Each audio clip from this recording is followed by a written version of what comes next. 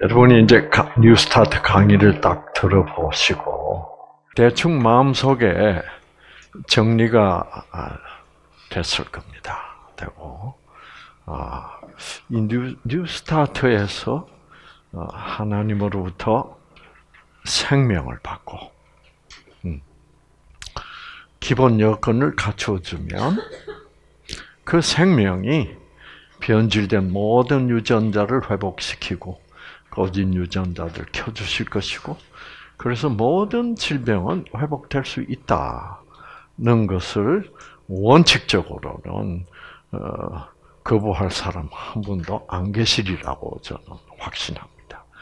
자, 문제는 이겁니다. 원칙은 원칙인데 이 원칙하고 현실이 좀 뭐예요?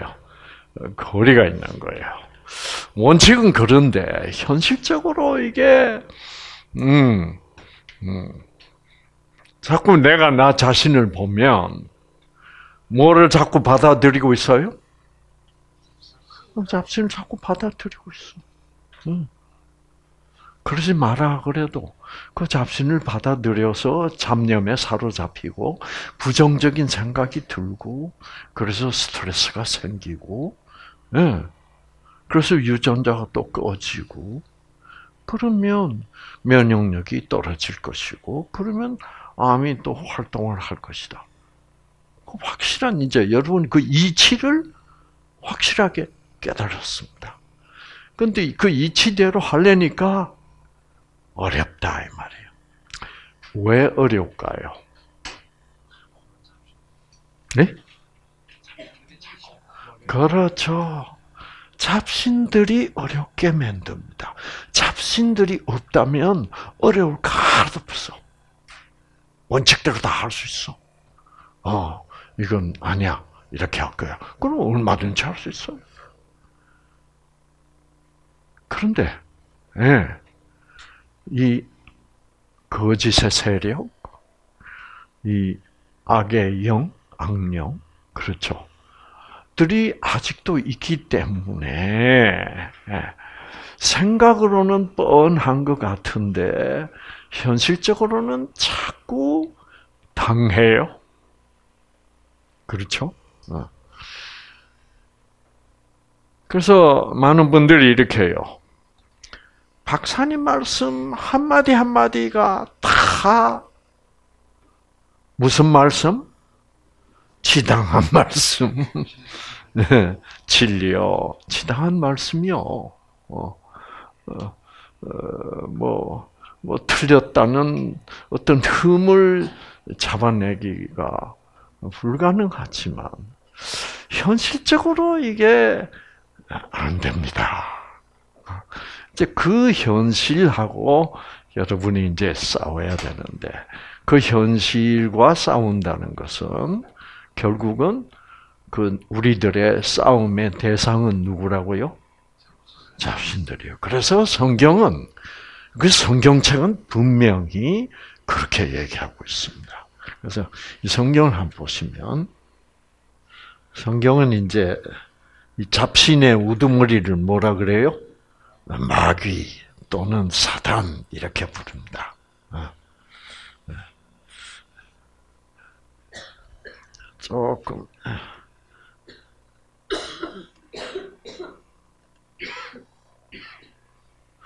너희는 마귀의 술책에 대항하여 설 수 있도록 하나님의 무엇을 입어라? 전신 갑옷을 입어라. 어. 이 전신 갑옷을 하나님은 너희들에게 주셨다. 어. 그러면서 우리의 싸움은 혈과 육, 혈과 육이라면 인간을 의미합니다. 혈과 육에 대항하는 싸움이 아니라 이 세상 어두움의 주관자들과 높은 곳들에 있는 무슨 악? 영적 악이야. 영적 악. 영적 악. 영적 악 과 싸우는 것이다. 음. 영적 악은 그게 마귀요. 그게 사단이요. 어, 자, 자, 이 시간에는 이 우리가 우리의 투쟁의 대상은 결국은 악의 영, 영적으로 악한 그런 세력, 음, 과의 싸움이다. 그래서 결국 뭐 쉽게 얘기하면 잡신들과의 싸움이다. 그런데 예. 하나님은 우리에게 그 싸움을 싸우기 싸울 수, 싸워서 이길 수 있기 위하여 무엇을 준다? 전신 갑옷을 준다. 그러므로 너희는 하나님의 전신 갑옷을 입어라. 음. 자, 그래서 전신 갑옷이 뭡니까? 진리로 너희의 허리띠를 두르고, 그 다음에 의의 흉배. 아, 의의 흉배가 뭘까? 아, 자, 그거는 차차로, 어, 흉배는 뭐예요? 가슴, 탁 붙이고, 어, 화평에 뭐를 복음을 준비한 것을 너의 발에 신고. 어, 어. 그래서 그 평, 우리와 하나님을 평화롭게 만드는 그 복음. 네. 그래서 이제 2부 세미나는 이런 전신갑주를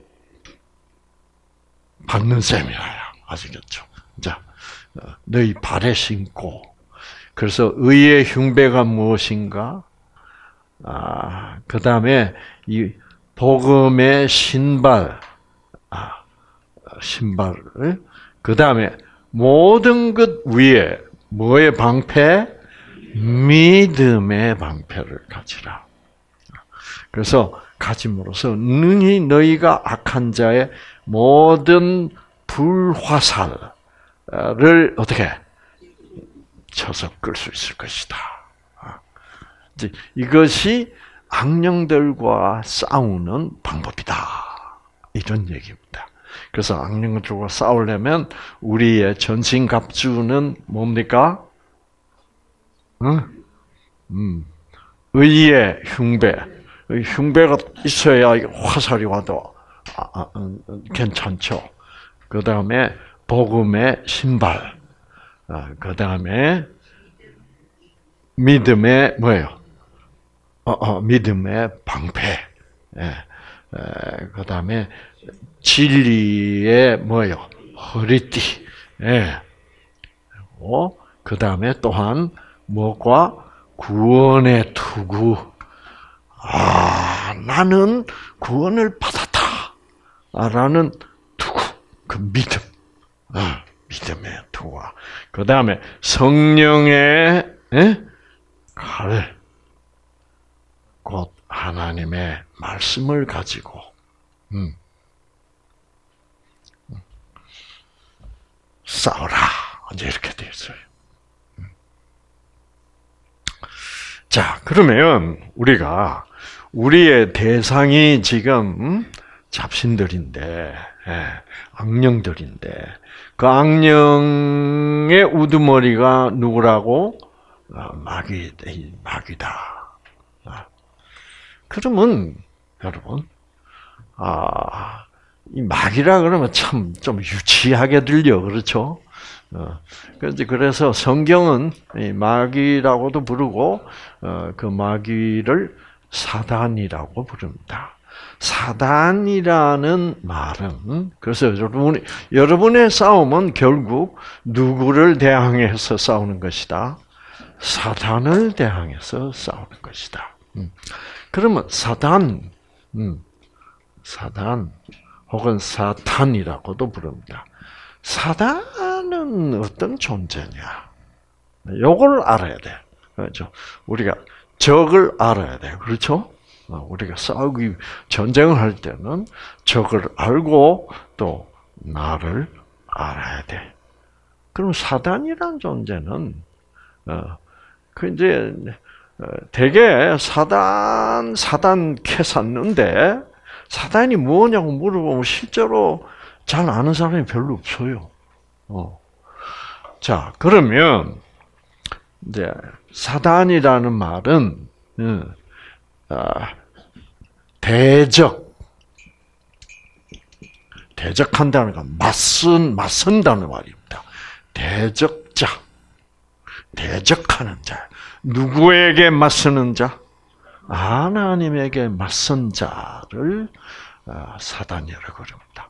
그럼 하나님에게 맞섰다라면 그 무슨 말일까? 뭐 하나님하고 사단하고 힘자 팔씨름 하려고 됐 했나? 대적 맞섰다는 말은 무슨 말이에요? 의견이 맞지 않았다는 얘기입니다. 어, 생각이 달랐다 이 말이에요. 어. 근데 그러면 이 사단은 어, 누구냐 하면 누구냐 하나님이 아, 사람도 만들었고 그 다음에 누구도 만들었다? 천사도 만들었다. 천사는 뭐 하는데? 하나님과 인간 사이를 연결해주는 그런 역할을 하는 존재인데 천사들은 우리처럼 이런 형태가 없어. 어, 그냥 뭐요? 어, 눈에 보이지 않는 존재지만은 막 천사는 어, 천 하늘 천에다가 사 그러면 사신 할때 심부름꾼이란 얘기예요.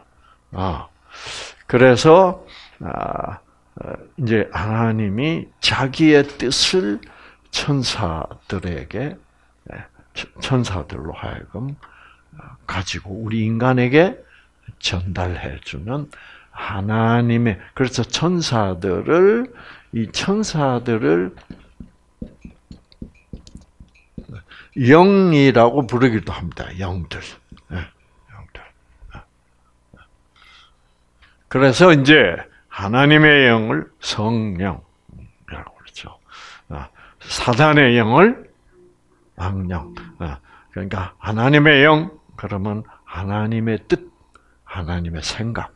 어, 성, 악령, 성령. 어, 사단의 뜻. 자, 그러면, 근데 이 천, 천사 중에, 누가냐면, 루스벨이라는 천사가 있어요. 루스벨 이라는 천사 중에 제일 최고 천사장이라는 천사가 하나님 생각에 맞섰다. 그래서 이 루스벨이라는 천사장이 하나님 생각에 맞서 가지고 뭐가 되었다? 사단이 되고 마귀가 되었다.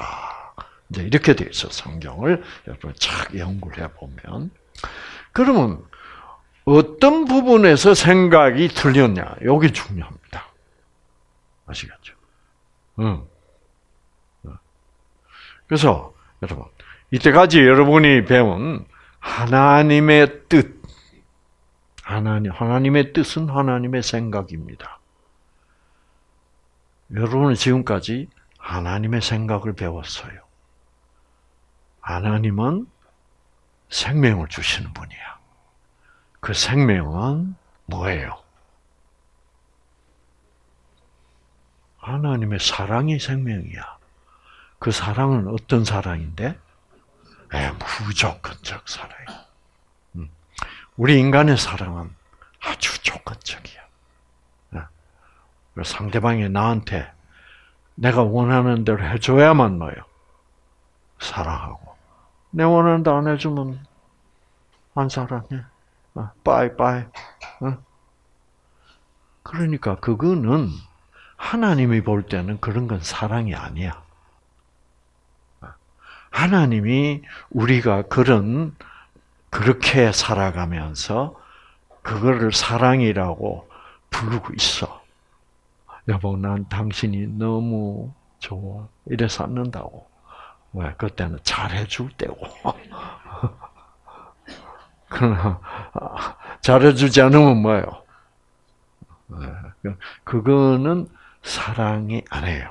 하나님 입장에서는 사랑이 아니라 하나님 입장에서는 뭐가?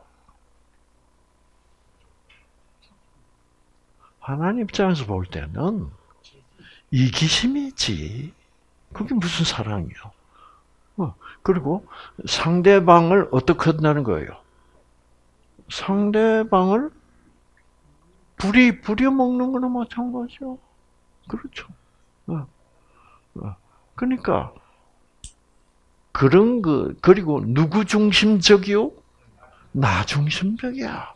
그러니까 그건 자기 중심적 생각을 이기심이라고 그러죠. 그렇죠? 이기심이고 또 그 이기심은 무엇을 추구합니까? 욕심을 추구해. 그러니까 아, 우리가 부르는 사랑을 잘 분석해 보면 결국 제일 밑바닥에서 드디어 나타나는 것은 결국 이기심이요. 어, 욕심이야. 모든 스트레스의 근본은 이기심과 욕심입니다. 여러분이 이기심 하나도 없고 항상 자기 중심적이기보다는 상대방 중심으로 생각하고, 네.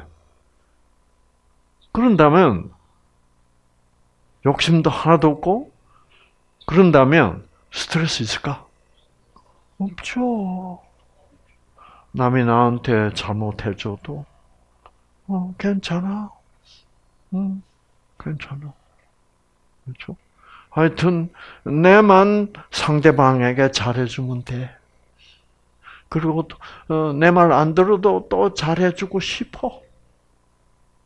그런 것이 그런 것이 있을 수 없다고 생각하는 것이 우리 인간들 아닙니까? 그런 게 어떻게 있을 수 있어? 그렇죠? 응. 나한테 잘못해주는데도 나는 잘해주고 싶고. 그거는 우리 지구상에 현재 살고 있는 사람들의 생각으로는 그런 사람이 만약 있다면 뭐요? 미친놈이야. 그 우리들에게 미친놈. 그래서 하나님의 무조건적 사랑은 우리들이 볼 때는 그 미친 거예요. 그 미친 그 우리가 볼 때는 미친 미친 것 같은 것이 드디어 뭐예요? 아 이해가 간다. 어 이거는 내 혼자서 할 수 있는 일이 아니야. 아, 뭐를 받아야 돼? 예, 하나님의 영, 하나님의 생각, 성령을 받아야 돼. 그러면 드디어 어, 그게 진짜 사랑 맞네. 그런 것도 있기는 있구나. 그런 거는 이 지구상에서는 없어요. 어디에서만 있어? 하늘나라에만 있는 거예요. 그런데 우리가 마음을 열기만 하면 하늘나라에 있는 그 사랑을 우리 가슴 속에 넣어 주시겠다 이 말이에요. 네. 아시겠죠? 그것이 우리는 그렇게 할 수 없지만 그건 누가 넣어주시는 거예요? 네, 하나님이 넣어주 성령이 넣어주시는 거다. 네. 그러면서 우리의 마음이 점점 넓어져가. 옛날에는 조금만 마음에 안 들어도 막 죽고 싶고 막, 막 욕해주고 싶고 막 싸우고 싶고 그런데 이제 그런 마음이 조금씩 들어오면 음, 내가 이기적이듯이 저 사람도 뭐요? 이기적이니까. 내가 욕심쟁이인 것처럼 저 사람도 욕심쟁이기 때문에 자기 마음에 안 들면 안 해주는 거요. 나, 누구도 그러고 있는데, 나도. 그래서, 아하. 저 사람이나, 나나, 뭐예요? 다 같은 이기주의적인, 이기적인 인간이구나. 그렇게 생각할 때는 드디어 내가 저 상대방이 나, 내가 원하는 대로 안 해준다고 해서 내가 스트레스 받는다는 것이 뭐예요? 그게 미친 짓이야, 이제 알고 보면. 그 미친 게 바뀐다고. 그렇잖아요. 다 우리 둘 다 이기적이면서, 응? 어. 그렇죠? 어. 상대방이 내 원하는 대로 안 해주면 안 해주고 나도 저 상대방이 원하는 대로 뭐요? 안 해주는 때도 많아. 그러면 그게 뭐요? 쌤쌤이지 뭐. 그렇죠? 어. 그래서 내로남불 그러잖아요. 어. 내가 화내는 거는 당연하고 지가 화내는 거는 뭐요? 그건 아니고. 어. 그 이런 웃기면서 살고 있다 이 말이야. 이것을 깨닫는 것을 거듭난다고 하는 거예요. 아, 그렇구나.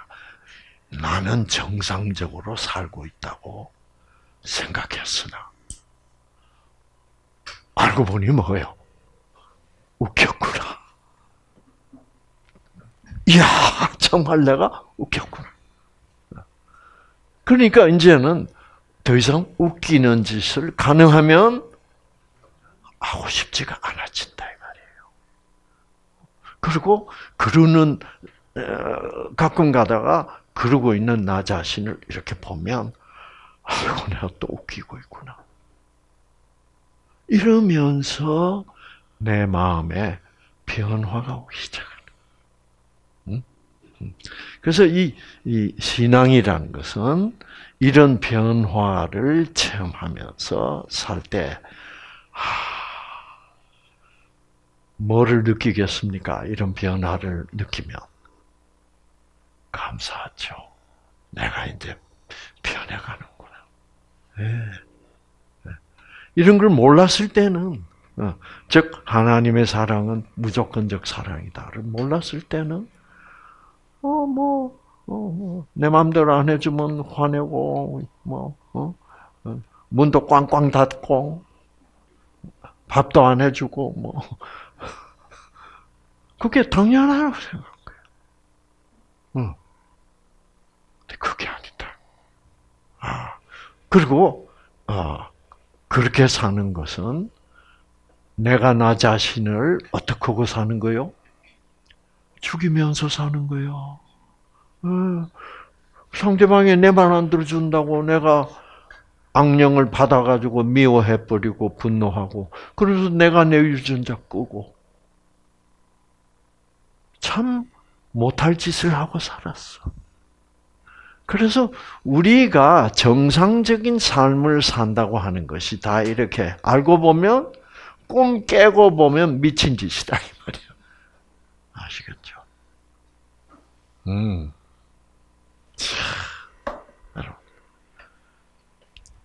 그래서 어, 자 그래서 자 하나님이 이 천사들을 만들고 인간을 탁 만들었어요. 만들 때 어, 천사들과 인간이 하나님을 탁 볼 때, 참 무조건적 사랑.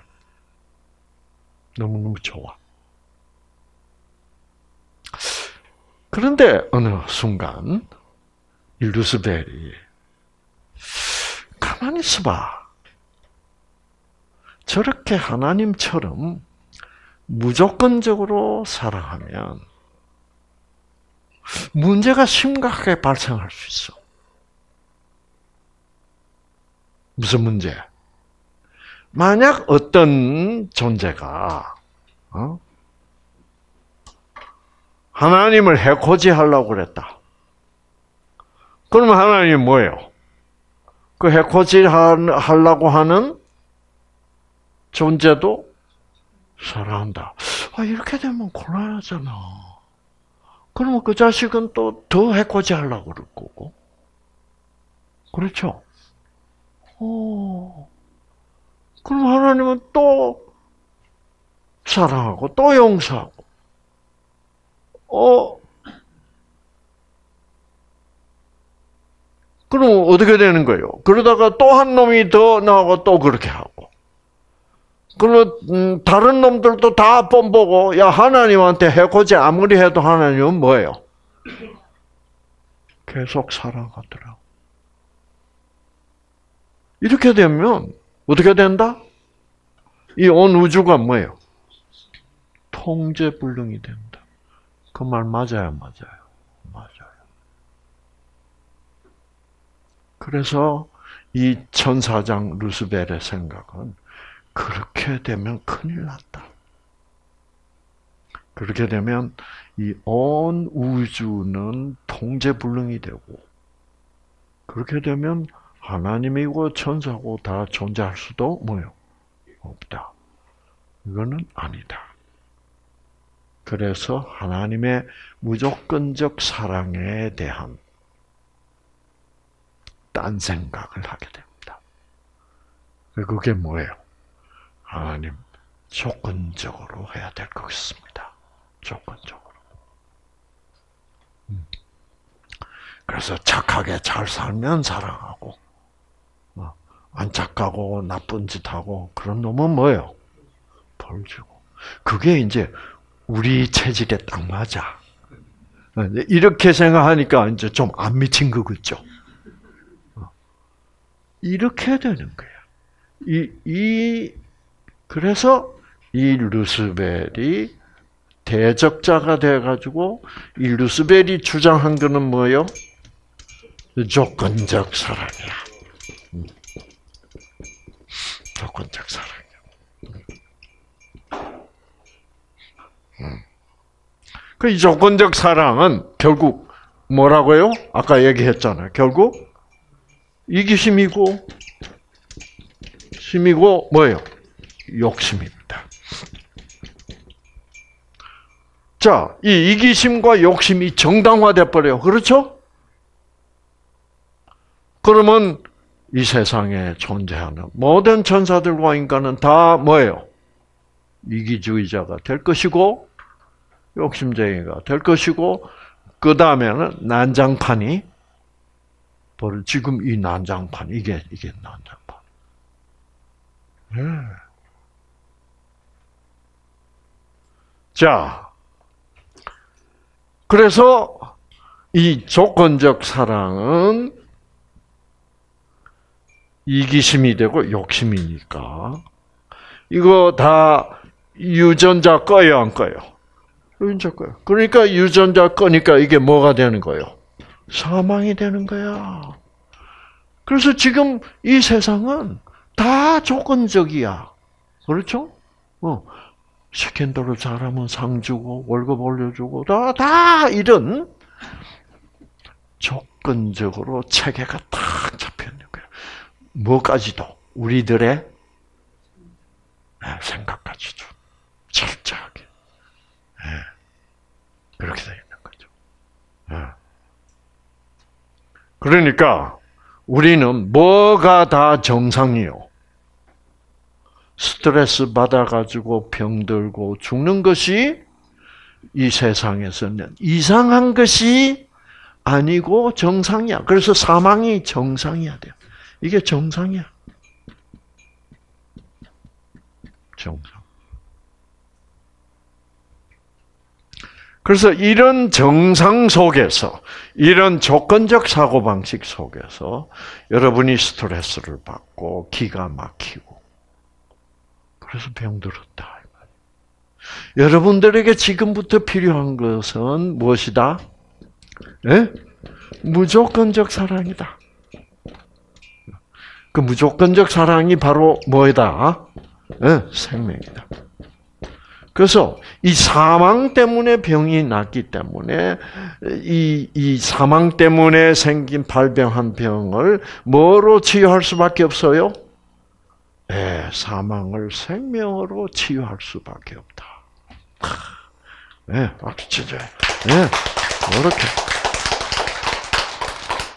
딱 이렇게 구성이 되어 있는 거예요. 네. 아, 이, 이런 걸 진리라 그래요. 아시겠죠? 어. 그래서 이 세상은 무엇의 세상이다? 사망의 세상. 왜 사망의 세상이라? 조건적 세상이다. 그래서 병 나는 것도 정상이야. 그래서 사실 그래요. 이제 우리 동창회에 가보면 어, 우리 동기생들이 다 이제 75, 76 다 이래. 음. 가보면 이제 얘기 들어보면은 약 안 먹는 놈이 한 놈도 없어. 다 약 먹어요. 혈압약 먹는다, 당뇨약 먹는다, 관절염약 먹는다, 간약 먹는다, 심장약 먹는다, 에, 콩팥이 안 좋다, 뭐 소화제 먹는다, 뭐 약 안 먹는 친구 하나도 없어. 음. 누구만 약 안 먹게? 어. 상구만 안 먹어. 어. 그래서 이제 그래요. 상구 니는 약 먹는 거 없나? 없죠. 뭐. 저는 영양제도 먹는 거 없는데. 어. 없어. 그럼 뭐라? 아니 참말로 약 먹는 거 없단 말이가? 없어. 약 먹는 거 하나도 없어. 난 비타민도 안 먹거든. 응. 그럼 뭐라 그런지 알아요? 자기들끼리. 전마 저거 이상한 놈이다 그래요. 그렇죠. 다 약 먹는데 혼자서 안 먹으면 이상한 놈 돼버려요. 정상을 보고 이상 이상하다는 세상이 돼버렸습니다. 여러분, 75일 때도 약안 먹는 게 정상 아닙니까?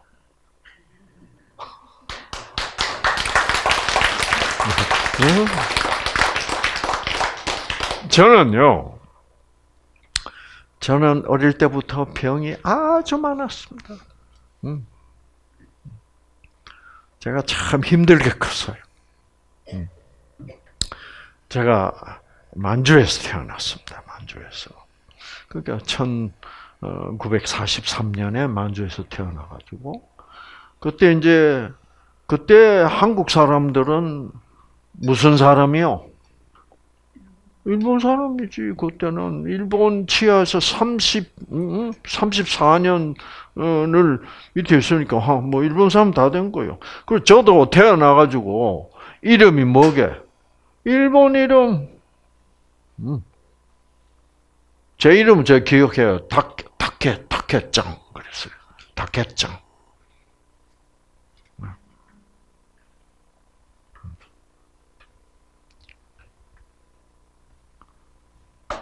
그 뭐, 배우는 말은 무슨 말밖에 없어? 일본 말이에요. 일본 사람이에요. 그때 뭐 일본 정부가 뭐 창시 개명 다 했잖아요. 응? 네.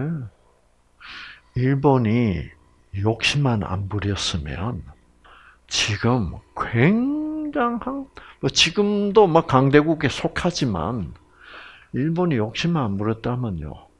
그냥 한국 주스 먹고 가만 있고 대만 주스 먹고 가만 있고 네. 만주 주스 먹고 뭐요?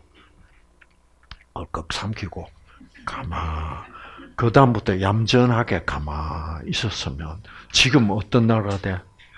지금 한국 사람 우리 다 일본말 하고 있을 거예요. 네. 괜히 이 자식들이 욕심을 뭐요? 욕심을 너무 부려가지고 이게 네. 이게 이게 막 다 먹어보려고 그렇죠. 막 필리핀하고 막 중국도 다 먹으려고 욕심을 너무 내다가 이거 다 먹은 거다 개워냈다고. 그 바람에 대한민국은 난데없이 민주주의 국가가 돼버렸어. 미국이 점령해가지고. 응. 여러분 그런 일이 없었어 봐요, 여러분. 어. 없었어 봐요. 어. 조선이 고종 황제부터 시작해서 계속 그 왕정이 계속되고 있었다 보죠. 민주주의 될까요? 난리 납니다. 민주주의 하려면 어떻게 해야 돼? 내전해야 됩니다. 예, 여기서 민주주의 사상을 가진 사람들, 미국 가서 민주주의 배워가지고 이거 안 된다. 그러면 또 왕정파가 있을 거 아니까. 이놈 새끼들 죽여야 된다.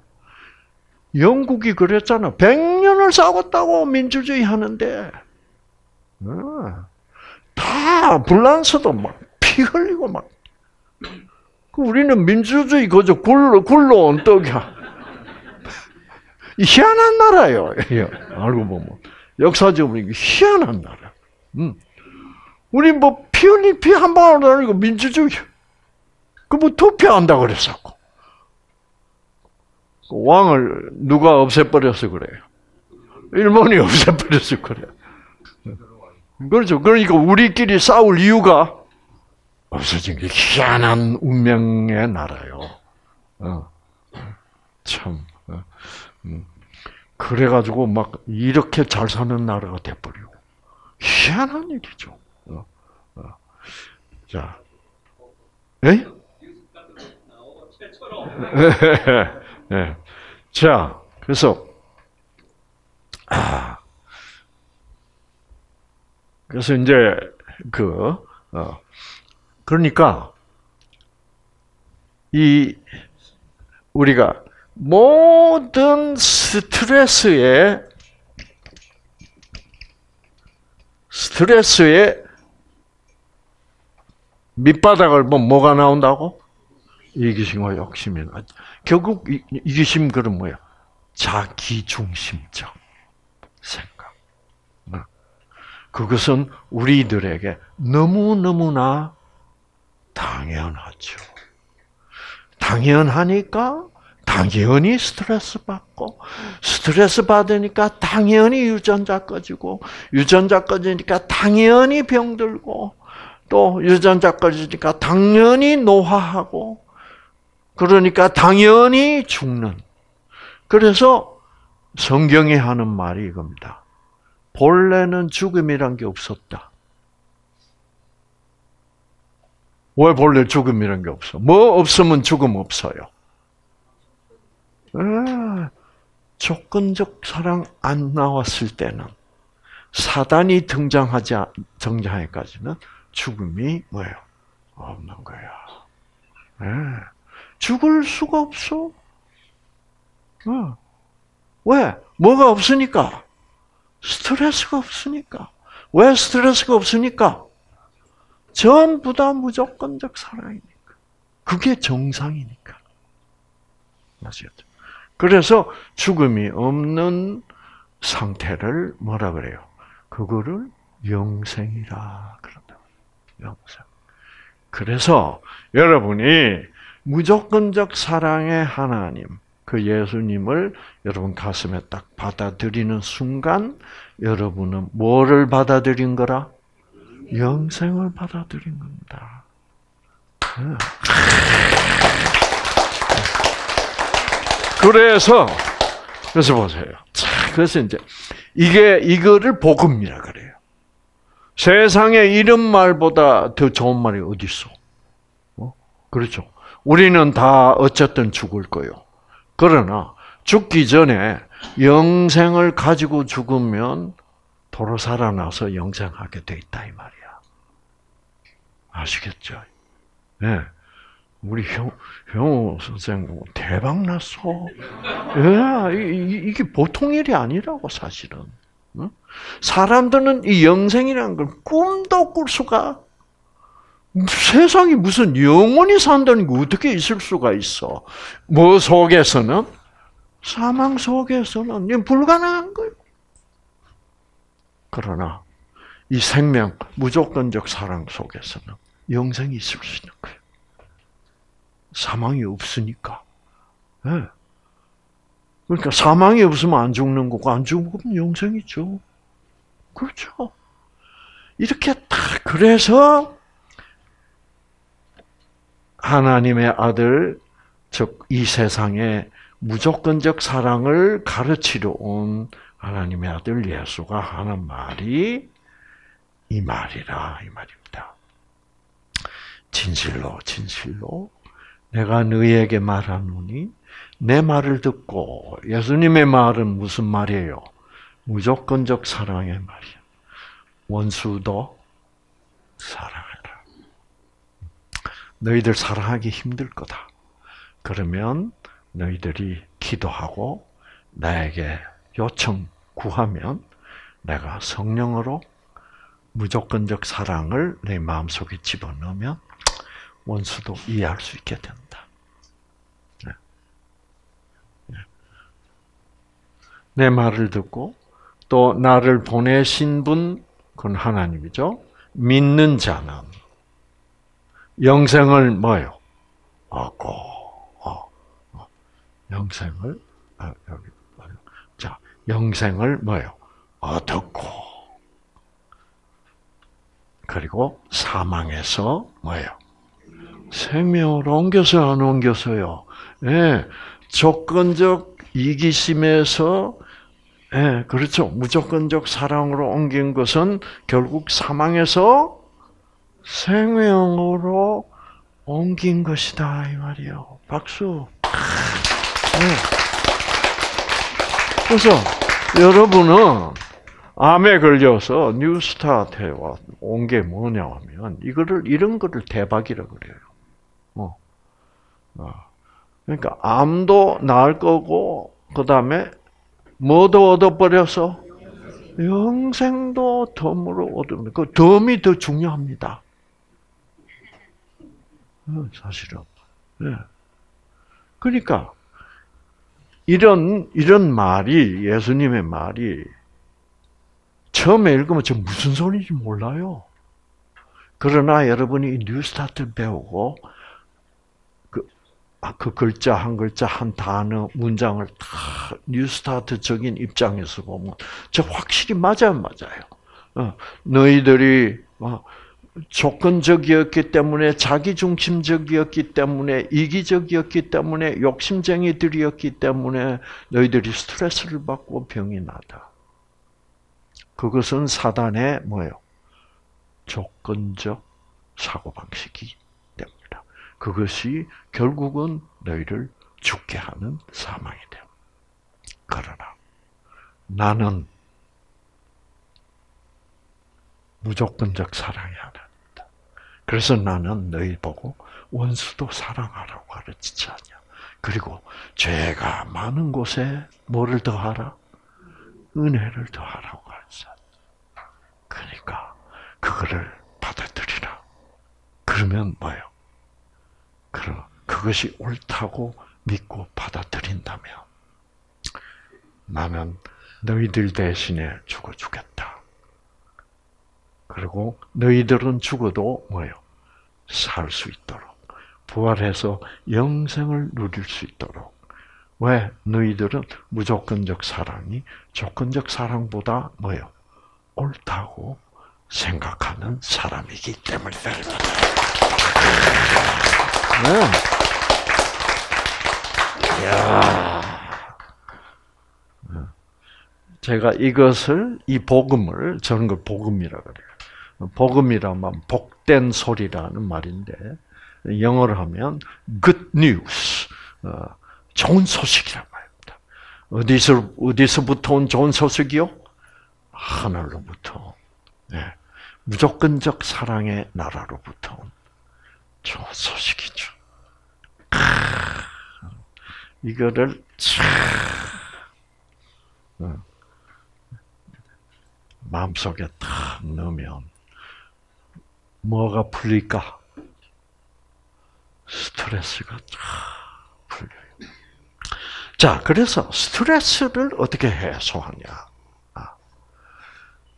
스트레스를 주는 존재는 잡신이다. 잡신이 주는 존재는 아, 잡신이 주는 것은 잡념이다. 잡념을 가지고 있으면 스트레스를 저절로 받아요. 그렇죠? 그런데 그게 나, 나에게 스트레스를 주는 잡념을 내가 받아야 될 이유가 없고 또 나도 잡념을 하고 싶은 생각이 하나도 있어요, 없어요? 없어요. 그런데 나는 잡념을 하고 있는 거야. 그거는 왜 그래요? 그거는. 내가 왜 잡념을 잡생각을 하고 있어요? 잡념이 들어왔고 나는 그 들어오는 것을 막지 안 하기 때문이요. 내가 안 막았기 때문에. 그래서 이 잡신들은 내가 막지 않는다면 마음대로 들어와요. 이 잡신들은 무례하거든. 무례하니까, 무례하고 잡신들의 목적은 뭐예요? 나를 병들고 늦게 하고 죽이는 게 목적이에요. 그러니까, 어, 그러니까 내가 안 막는 이상 막 들어와. 반대로 하나님은 어때요? 하나님의 무조건적 사랑, 이 생명은 무례하지 않습니다. 아, 그래서 성경을 보면 하나님의 사랑은 무례히 행치 않는다. 왜? 내가 원하지도 않는데 막 강제로 들어오고 그런 거 없다 이거. 잡신들은 내가 원하지 않아도 어떻게 해요? 내가 막지만 않으면 거부하지만 않으면 마 지 마음대로 들어. 나를 가지고 놀라 그래. 그러나 하나님은 내가 뭐 할 때? 요청할 때, 구할 때 들어오신다. 그래서 예수님이 구하라. 그래하면, 그래하면 주실 것이요. 이렇게 되겠다. 음. 그래서 이 조건적 사랑과 무조건적 사랑의 차이점을 여러분이 좀 확실히 아셔야 돼. 아시면 참 이 무조건적 사랑은 너무너무나 좋은 겁니다. 조건적 사랑은 결국 상대방을 결국 상대방을 부려먹으려는 겁니다. 그렇죠. 근데 그 내가 부려먹으려 해도 상대방은 부리고 싶어 안 싶어? 아, 뭐 뭐요? 어, 뭐야? 어, 부리는 대로 하고 싶게 안 쉽게? 안 쉽죠. 누구나 그렇죠. 그러니까 서로 싸우게 되는 거예요. 할 수 없어. 조건적이 옳다면 이거는 싸우는 게 뭐뭐 그건 불가피한 거예요. 그래서 싸움도 정상이야. 자, 그러나 무조건적 사랑은 내 중심이 아니라 누구 중심이라? 상대방 중심이다. 아, 그래서 그런 걸 이타심이라고 그러죠. 음.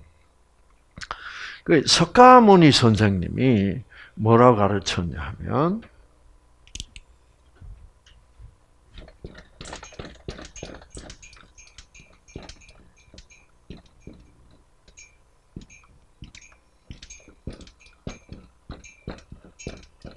이타 자리 그랬습니다. 타는 상대방입니다. 상대방을 이롭게 하는 것이 나를 이롭게 하는 이 사람도 도턴 사람이야. 맞아요, 맞아요. 어. 결국 이 석가 선생님의 입에서 그래서 대자 대비 무조건 사랑하라는 거 조건 없이. 그것이 바로 이타야. 근데 무조건 사랑을 하면 누구한테 이로워? 나한테 이롭다. 맞아요, 맞아요. 내가 생명을 받는 거예요. 생명보다 더 귀중한 게 어디 있어? 그렇죠. 어. 그래서 결국은 생명을 받도록 받으면서 살아라가 상대방 중심으로 살아라는 거예요. 어. 그래서 여러분. 여러분이 교회를 다니면 어, 어, 많은 교회에서 어떻게 가르치냐면은 자꾸 우리 인간은 누구를 섬겨야 된다고 그래요. 하나님을 자꾸 섬기야죠. 섬기고 하나님 잘 모시면 그러면 복 준다. 이건 무슨 적이요? 조건적이요. 그런 거를 종교라 그럽니다. 네. 지금 현재 종교들은 다 조건적이에요. 저는 종교를 원하지 않고 무엇을 원한다? 진, 진리를 원한다. 진리. 네. 진리는 과학적으로도 맞아야 돼. 그렇죠? 진리를. 그럼 진리는 뭘까? 진리는 뭔지 아세요, 여러분?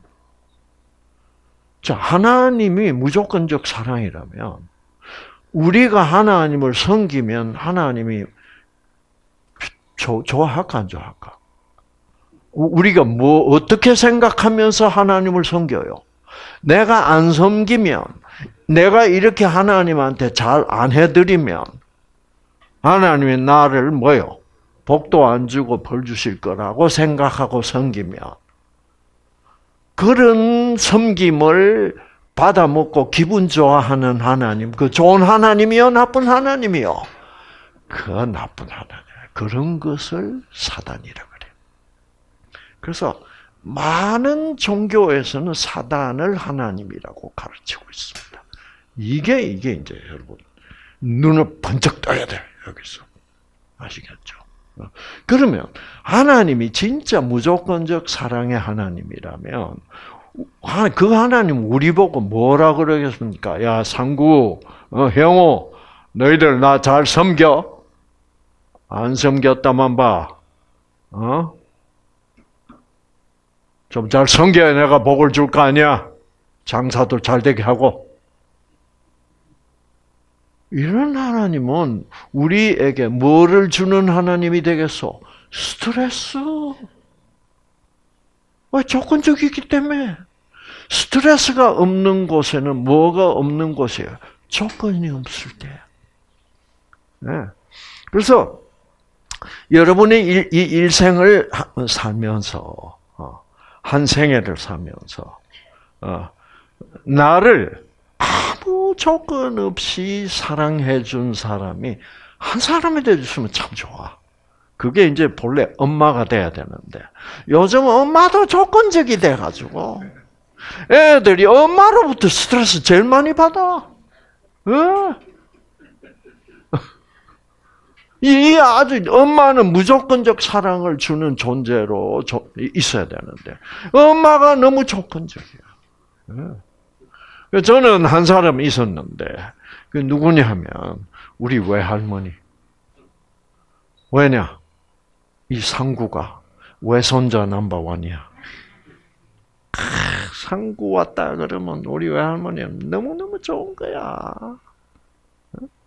그막 상구가 원하는 걸막다 해주고 싶어. 음.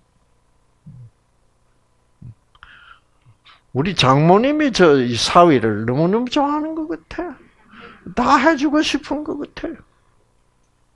음. 음. 아시겠죠? 그래가지고 외할머니 생각 옛날에 하나님 모를 때는 왜 스트레스 받을 때 외할머니 생각하고 스트레스 풀려. 아, 우리 외할머니 그렇죠? 그러니까 스트레스는 조건적 사랑으로 발생하고 그 스트레스를 없애는 것은 무조건적 사랑 안에서 없어져요. 맞아요, 맞아요. 네. 네. 네. 그러니까 사망은 생명으로 없어지는 거야. 스트레스는 사망 아니야. 그걸 해소하려면 뭐가 와야 되는데 사망을 없애는 것은 생명이요. 어둠을 해, 없애는 것은 빛이요. 그렇죠. 어. 어. 차가운 것을 없애는 것은 뭐요? 열이요. 음. 사망을 없애는 것은 생명이에요. 네.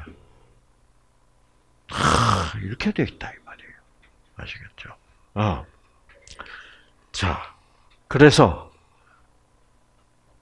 그래서 이제 성경을 보면 어, 성경을 보면 어, 너희들은 나를 잘 섬겨라 이렇게 해놨을까? 그거는 목사님들이나 가끔 그런 소리 하지. 예수님 그런 소리 안 합니다. 아시겠죠? 여러분, 하나님은 우리가 교회 안 댕겨도 김정은이 같은 사람도 하나님은 지금 김정은이의 세포 속에 들어가서 김정은이 유전자를 섬겨요, 안 섬겨요? 아, 유전자를 조절하고. 그렇죠. 며칠기를 뗐다 쳤다 하고 병 안 걸리도록 어? 사실 김정은이 같으면 벌써 암 걸려야 되는데 어? 그걸 보호하고 계시는 거예요. 김정은이가 이 소리를 들으면 참 좋을 텐데. 어. 아, 어. 그런 얘기를 여러분 들어도 듣기만 해도 미소가 절로 지어져 안 지어져? 그때 여러분의 유전자가 켜지는 거예요. 이것이 무조건적 사랑은 배우면 배울수록 나도 모르는 사이에 조건 반사적으로 유전자를 뭐요 켜준다 이 말이에요. 그게 바로 생명이다. 네. 참 그래서 자 봅시다. 그래서 조건적 사랑은 상대방을 상대방에게 섬김을 받으려 합니다. 받고 싶어요. 그지 생각 보자. 다 지금 섬김 받으려고. 그렇죠? 그래서 섬김 받으려고 하면 어떻게 하면 돼요? 아, 공부 열심히 하고 뭐 해가지고 뭐 실력을 쌓아가지고 어떻게 높은 자리에 올라가면 막 밑에 사람이 섬겨야 되잖아. 어, 어. 그래서 자폼 잡고 섬겨라, 섬겨. 그런데 이제 되게 섬김을 되게 원하는 사람들은 어떻게 해? 갑질한다고. 막, 막 섬깁니다. 왜 말하는 그러니까 욕심이야. 섬김을 받고 싶어 하는 욕심. 그래서 갑질하면서 누구 유전자 다 끄는데? 상대방 유전자도 끄고 자기 유전자도 끄고 그러면서 자기는 잘 살고 있다고 착각하니까. 자, 봅시다. 야, 하나님은 섬 그러면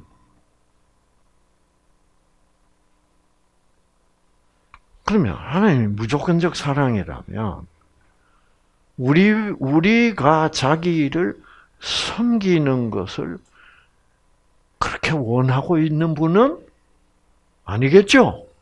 음. 그리고 그 대신에 또는 그와는 정반대로 어떻게 크고 싶으신 분이까? 섬기고 싶겠죠.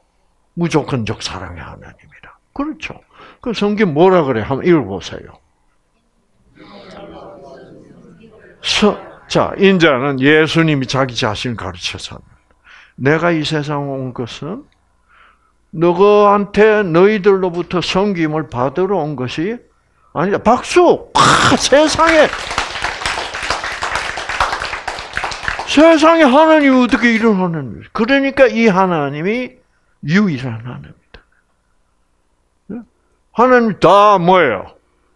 자식들 무릎 꿇어 내 앞에서 열심히 섬기라고 다 그런 하나님으로 한국 사람들이 오해하고 있어. 성경 예수님이 자기 입으로 하는 말인데 이게 그 당시에 유대교가 지배하던 어, 그 이스라엘 땅에 와가지고 왜? 그 유대교에서는 철저히 사람들로 하여금 하나님을 뭐요?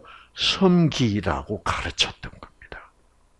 그러니까 사람들은 공부 열심히 해가지고 뭐요? 종교 지도자가 되려고 해.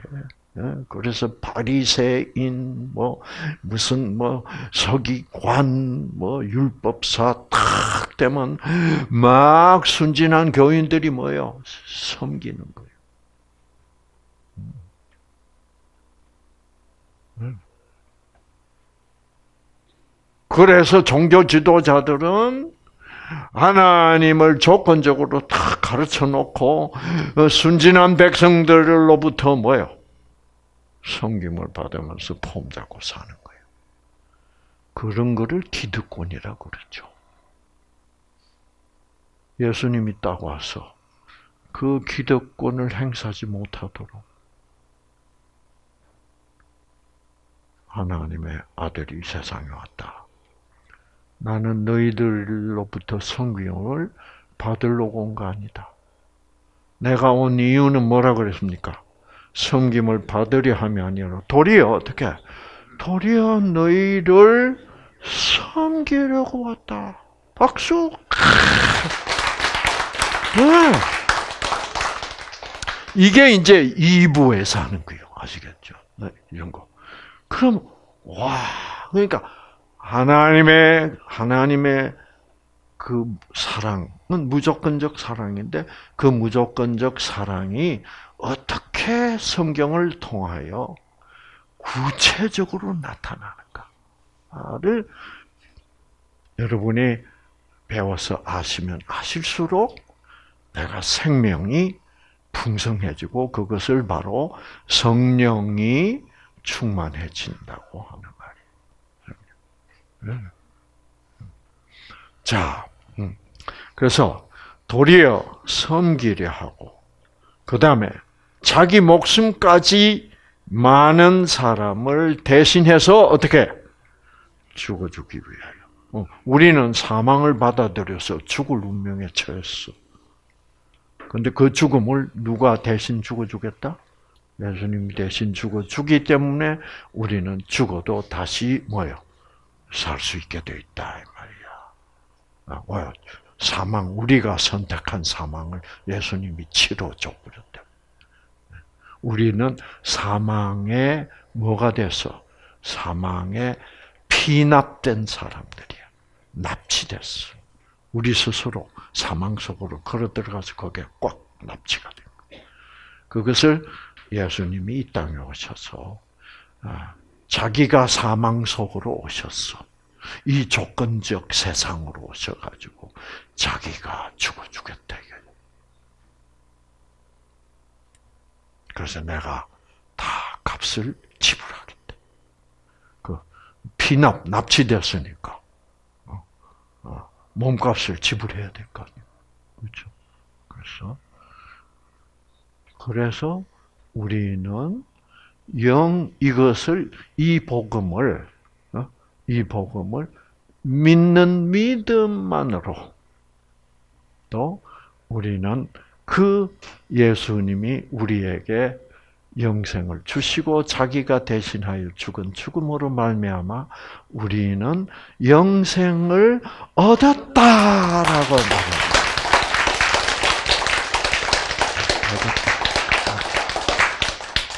자, 여러분 박수가 좀 크네요. 네, 좋아요.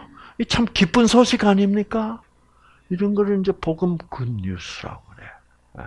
여러분 이렇게 기쁘면 기쁘면 이렇게 이제 기쁘면 여러분들 중에는 그런 사람 없을 것 같아요. 이렇게 기쁘면 어떤 사람들은 이런 사람들 얌체라 그럽니다. 아, 그렇다고? 아, 그럼 나 지금 영상 얻었다고? 어, 확실하냐? 어, 확실하네? 그러면 지금부터 막 살자. 왜? 저 때문에? 내가 영생 가졌다. 이런 사람들은 그 예수님이 십자가에서 그렇게까지 피 흘리시며 주신 영생을 받았다는, 받았다고 하지만은 받은 것이 아니죠. 안 받은 거예요. 그걸 받았다면 감동하지. 예. 감동이 있으면 예. 내가 앞으로도 이 무조건적 사랑을 전하면서 생명을 전하면서 살고 싶은 사람이 되지. 그렇죠. 예. 그런데 제가 지금 안식일 교회와 이렇게 이제 논쟁을 하고 있는 부분이 바로 이 부분이에요. 제가 이제 이런 복음을 전하니까 안실 교수는 뭐라 그래? 이상구 박사는 그냥 막 살아도 된다고 가르친다. 와, 이거는 그거는 무슨 생각이요? 이상구 박사는 얌체가를 만든다 사람들. 제가 여러분 지금 얌체로 만들고 있습니까? 아니면 여러분 와, 그 참 감사하구나. 어? 우리 이형우 씨 지금 어? 70이 가까이 돼가지고 예? 드디어 며칠 만에 하나님을 만나가지고 기도문을 작성하면서 그러니 누가 누가 얼마나 좋겠어? 하나님이 얼마나 좋지. 이 형우가, 자, 우리 이형우님, 우리 봉사자가 어, 기도 좀 한번 해보실래요? 좋습니다. 어, 왜? 내가 만난 하나님 너무 좋으니까. 내가 기도 한 번도 해본 일이 없, 없을지어도 한 번 뭐요? 해보고 싶으신 거예요. 그래서 하면서 참 무조건적 사랑의 하나님 하니까 울컥하는 거죠. 그렇죠. 그 감동을 주는 거예요. 그러면서 우리 형우님의 마음 속에는 뭐예요? 이런 하나님을 내가 만났으니 앞으로는 이런 하나님이 나에게 주시는 무조건적 사랑을 실천하면서 살고 싶다. 그거지 뭘 막 산다고 막 사는 사람으로 만들어. 그 이건 이거 참 답답한 노릇이요. 아시겠죠? 그러면 어, 어떻게 가르쳐야 안막 사는 거요? 하나님을 조건적으로 가르쳐야 됩니다. 어, 너 착한 일 많이 했어 안 했어? 어, 어 그래서 내가 조사할 거야 나중에. 어, 네가 진짜 착한 사람이 안 되어 있다면 너는 천국에 못 올 거야. 그렇게 가르치거든요. 그럼 그렇게 가르치는 사람은 감동 있을까 없을까? 없어요. 그러니까 감동이 안 되는 거야. 이 복음은 우리를 감동시켜요. 네. 네. 이제 무슨 말인지 알겠죠? 예. 음. 그래서 그 다음에 여러분 봅시다. 사도 행전 17장 자, 하나님은 무엇이 부족한 것처럼 사람의 손으로 섬김을 뭐요? 받으시지 않는다 이 말이야. 네, 성경 보세요. 섬김, 섬김을 요구하지 않아요. 우리가 하나님을 섬기는 것은 그 하나님의 사랑에 감동하기 때문에 우리가 꼭 섬기지 않아도 됨에도 불구하고 저절로 섬기고 싶어 지는 사람이 된, 되는 거라 이 말이에요. 네. 너희들 꼭 섬겨야 되나? 안 그러면 천국 못 들어. 그리고 내가 계속 조사할 거야. 그동안 잘 섬겼는지 안 섬겼는지. 그러면 그것은 어떤 사람을 만들어낼까? 위선자를 만들어냅니다. 위선자. 위선. 그렇죠? 왜? 맨날 뭐, 하나님, 아, 제, 아, 그러니까 맨날 하나님한테 맨날 뭐 떨어야 돼? 알랑방구 떨어야 돼. 어, 그리고 하나님 항상 불편해. 무서워. 혹시 나를 잘못 보고 나를 자르면 어떡하냐? 그런 신앙은 이제 고만하시라 이 말이에요. 응. 음, 음. 그래서 됐어, 됐어. 그래서 여러분, 자, 그러니까 이런 하나님을 배우니까 이런 무조건적 사랑을 배우니까 마음이 편안해요, 안 해요? 에, 마음이 편안합니다. 에, 좋은 유전자가 살살 켜지고 나쁜 유전자들은 꺼지고. 에, 이것이 치유다. 이것이 뉴스타트의 치유가 이런 식으로 일어나게 돼 있다. 그래서 여러분 오늘 저녁에는 여러분, 영생이라는 대박을 얻은 겁니다. 아시겠죠? 네. 이거요, 이거, 여러분이 진짜 저한테 한턱 내야 되는 거예요. 어, 어. 여러분이 암이 나왔다고 해서 한턱 안 내도 되는데, 영생 받은 것 때문에는 한턱 내야 돼. 물론 한턱 안 내면 영생 못 받는다는 말을 하는 게 아니에요. 아시겠죠? 예. 음? 왜냐하면 여러분 생각해 보소. 복권, 복권이 당첨이 말이에요. 복권이, 예, 막 천억은 너무 많고, 한 500억, 500억짜리 복권에 당첨이 됐다. 여러분, 여러분이 500억짜리 복권에 여러분이 당첨됐다는 소식을 여러분이 들으면 어떻게 되겠어? 어떻게, 어떻게 할 거요? 여러분이 혹시나 하고 복권을 샀는데, 그게 뭐요? 500억이 당첨돼 버렸어. 그럼 여러분 어떻게 할 거예요? 어, 여러분 반응이 뭘 거요? 이거 아니요? 유전자 켜질 거 안 켜질 거요? 여러분이 그 사실을 믿으면 켜져요. 내 맞아? 내 번호 맞디? 혹시 하나, 숫자 하나가 틀리면 어떡하지? 안 믿으면 안 좋아요. 그게 믿음이란 게 중요한 거예요. 아시겠죠?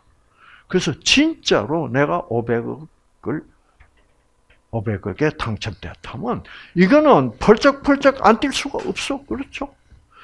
그러면 그렇게 기쁘고 와 감사하죠. 그렇죠? 그러면 사람이 좀 변할까 안 변할까? 어, 변합니다. 그렇게 되면 갑자기 마음이 뭐요? 넓어져. 내가 500억 부자야. 어? 그러면 어떻게 돼요? 그동안 음, 형우 이 자식이 말이야. 어? 나한테 150만 원 빌려가가지고 안 주는 거야 이게. 난 지금 돈이 쪼달려 죽겠는데 50만 원이라 달라 그랬더니 안 주는 거야. 응? 그리고 또 얘는 어, 신 신호는 아, 어쩌다가 리 신호요? 리북에서 오셨나요? 예? 전, 예. 자, 이 신호는, 어, 어, 나한테, 예? 200만 원을 빌려주고, 자꾸 내놓으라 그러는 거야. 나는 신호 맨날 피해 댕기고, 어, 형은 만나기만 하면 뭐, 자식아 돈좀 줘, 좀, 좀, 좀 줘. 어? 그러니까 뭐, 셋이 다 스트레스 받아, 안 받아? 어? 다 반대. 500억. 되면 이 스트레스 있을까 없을까? 다 없어. 야 형우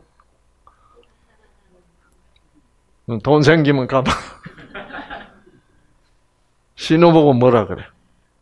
어, 근데 복권 당첨 500억이 6개월 후에 입금이 돼.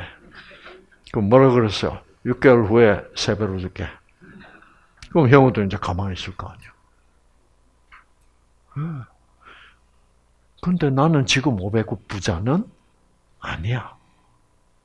여러분이 지금 영생을 누리고 누리는 하늘나라에 있는 거 아니지만은 여러분이 그 믿음을 버리시지 않는 한 그 영생은 보장되어 있다 이 말이야.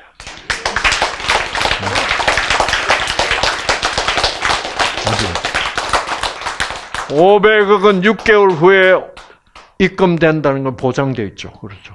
그 보장되어 있다는 것을 믿으면 그거 믿고 사는 거하고 안 믿고 사는 거하고 유전자 상태가 완전히 다르다. 아시겠죠? 그래서 여러분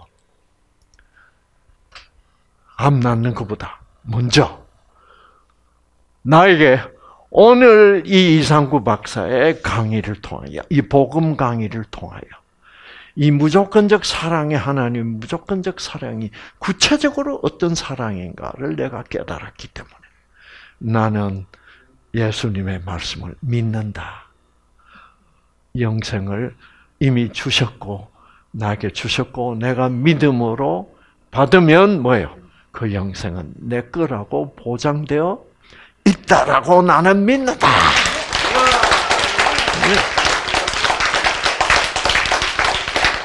사실은 여러분이 지금 일어나서 춤을 춰야 돼. 네. 500억이 더 줬어, 영생이 더 줬어. 예. 여러분, 복권 500억 타면요, 골치 아픕니다. 골치 아픕니다. 복권 당첨돼 가지고 막 돈 번 사람들이 잘 된 사람 아주 드물어요. 전부 뭐예요? 왜? 좀뭐 되냐면 사람들한테 미움받습니다. 도망댕기느라고 정신없어 도망댕. 왜 사람들로서 전부 뭐예요? 그걸 안 주면 뭐예요? 개새끼라 그러고 그러니까 막 당첨 안 됐을 때보다 막 훨씬 더 불행해집니다. 그럼 막 친구 다 떨어지고 다돈 돈 좀 달라고 그러니까. 예. 근데 주긴 싫고.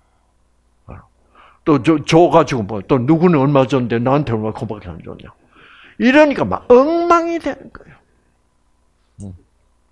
여러분 그러나 영생은 받아도 나한테 와가지고 손 벌리는 놈 없어요. 그건 하나님한테 가서 손 벌려야지 그렇죠. 예. 그래서 여러분 복권 500복보다 영생이 훨씬 더 여러분을 살리실 것이고 그렇죠. 그 영생을 우리 다 함께 함께 우리 뉴스타트 동창회를 하늘나라에 가서 영생을 하면서 동창회를 열어 봅시다요. 야!